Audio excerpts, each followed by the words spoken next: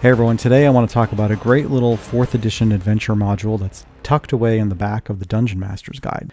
If you look inside the Dungeon Master's Guide, you'll see that Chapter 11 is for Fallcrest. And Fallcrest is a city within the Nentir Vale, which is a campaign setting that was created for 4th edition. It's a really nice setting because it is much smaller than a lot of the other campaign settings that are out there. So it allows new players and DMs to get a feel for working in a fantasy world without being overwhelmed with a lot of lore and, and a large area that they would have to cover. So the beginning of this section talks about Fallcrest, which is the city, and you get a really nice map of the town, and you can see that it's labeled with specific locations within that town. And if you flip through, you can get even more detail about each of those locations and who is there and what they do and what a party might find if they were to go to that particular location. For example, the Silver Unicorn Inn, it has a little bit of information about the inn and who runs it and how much it would cost to stay there for the night. So, really great information about Fallcrest and just kind of a little sandbox to allow the players to walk around and and uh, explore a little bit and learn um, how to do some role playing and an exploration.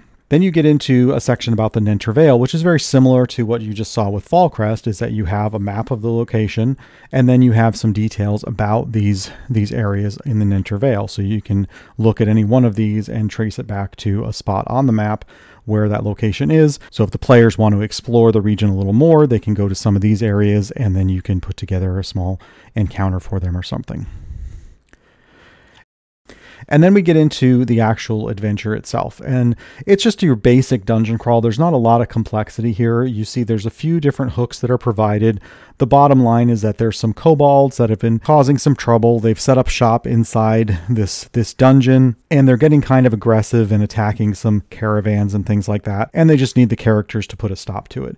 It even indicates in the introduction that this particular adventure is really light on plot, and it's more about just getting the characters involved and helping a new DM run a campaign and help new players learn how to play the game without getting terribly complicated. So, as is typical for 4th edition, you get a nice map that's an overview of the location you're going to be in.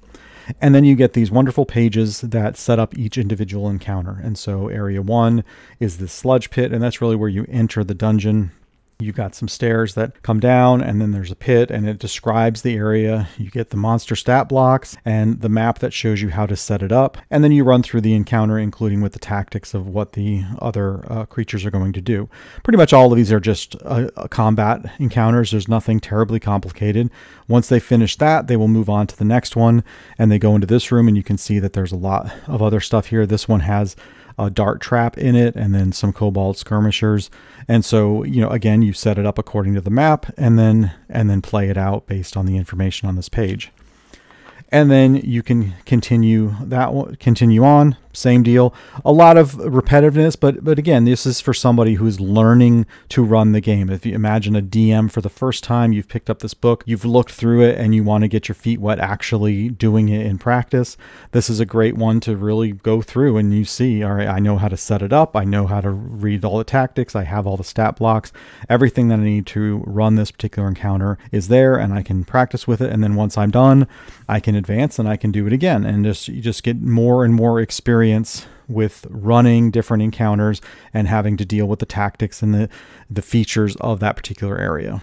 And then there's some actually some treasure that they would get at the end of this one, and I believe then that's that brings about the end of it is this last one where you actually will face a dragon. And who wouldn't love you playing Dungeons and Dragons?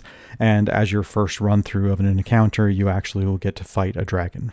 And then there's just a small wrap up where they get some additional treasure. And with any luck, that has encouraged the players to want to do more. And so you get a little bit of a direction of where you could take this now. It even connects to another adventure, the Keep on the Shadowfell. So if you wanted to just continue with those same characters, you could. So it's really nice little introduction. Again, it's not complicated. It's not going to give you a lot of exploration, not a lot of role playing, but it gets you the experience using the rules. And for a new DM with new players, I think it's a really nice little, a nice little mini adventure.